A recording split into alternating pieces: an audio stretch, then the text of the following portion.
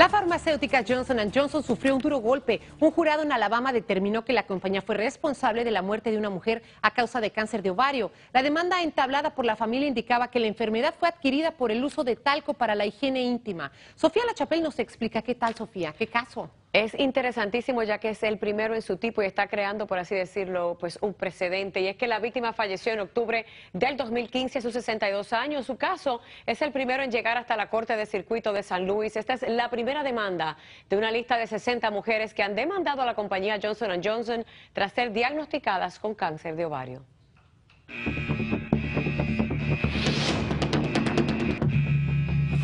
72 millones es el monto a pagar por la empresa Johnson Johnson luego del veredicto de un jurado en una corte en Alabama, quien determinó que la empresa fue responsable de fraude, negligencia y conspiración.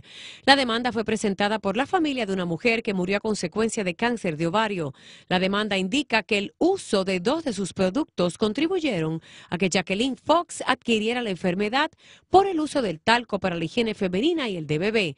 La víctima lo utilizó por más de 35 años. La familia de la víctima fue representada por la firma legal Wesley Allen, quienes basaron la demanda en demostrar que Johnson Johnson no dio a conocer que los productos hechos a base de talco podrían estar vinculados al cáncer de ovario según pruebas independientes de toxicología que presentaron como evidencia en corte y el testimonio de expertos.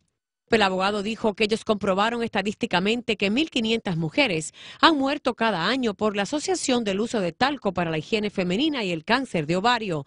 Además, indicó que en el año 97 la compañía Johnson Johnson tenía en su poder un documento interno de un consultor independiente donde les advertía sobre los resultados de dicho estudio y que no hicieron nada al respecto para informarle a los consumidores.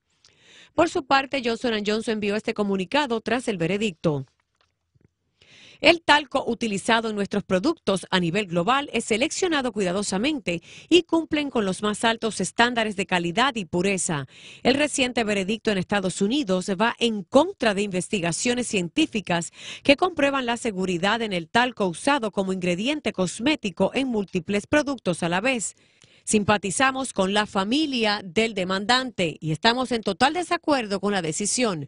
El cáncer de ovario es una enfermedad compleja de la cual aún no se conoce la causa específica.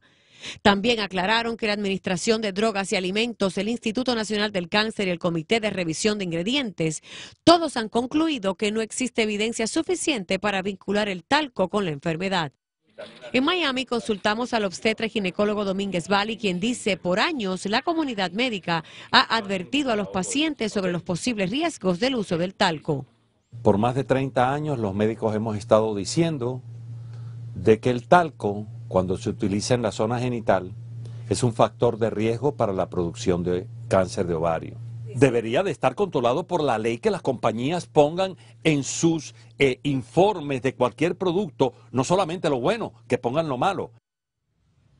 Bueno, ilegalmente estas compañías como la Johnson Johnson no están obligadas a informar sobre resultados de estudios que no sean totalmente conclusivos. Los abogados en este caso pues han dicho que se alzan con una victoria que según ellos crea un precedente que podrá llevar a que las compañías cosméticas que hacen productos a base de talcos a poner en su etiqueta advertencias sobre posibles efectos de la salud y definitivamente es una alerta roja y es bueno tomar siempre las precauciones y escuchar a los médicos. Pero qué importante escuchar esa advertencia de parte del doctor, sea o no sea la razón, mejor evitarlo, ¿no? Así es. Gracias, Sofía.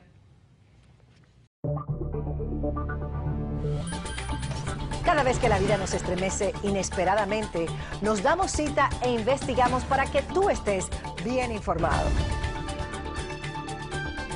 En el Rojo Vivo estamos conectados con nuestra comunidad, con sus necesidades y sus urgencias. A las 4, 3 Centro. Somos tu primer frente de información.